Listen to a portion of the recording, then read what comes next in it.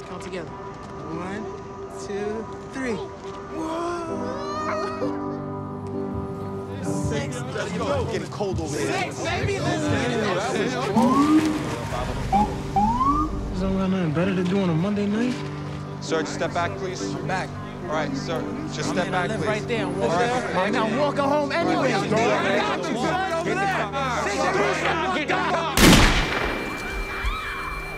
Yo, they shot him.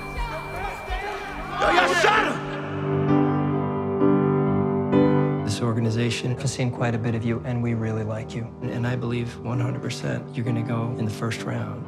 You know, I feel like everywhere I go, I'm reminded of what happened. What's happened about that shooting? And if he wasn't resisting arrest, he'd still be here. So if I resist arrest, you're gonna shoot me. I know what you think you saw.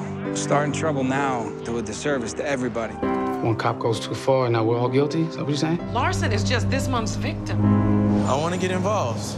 Do what you do. So what do the police want with you? They want me to keep quiet. I saw the tape. So what, you're gonna go blab about it? They're gonna make an example out of you. What should I do? Just got a new job. I'm about to graduate. Everything's gonna change if you just put this out there. But what would you do? What would you do if somebody twice your size is coming at you? He was surrounded by six or eight Takes cops. seconds, Lisa. He's dead.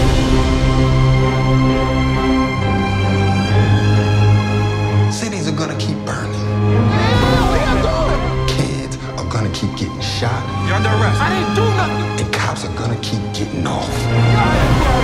But you have a ticket out.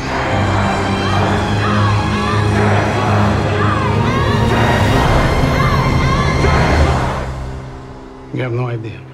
You don't have a clue what goes on on the streets.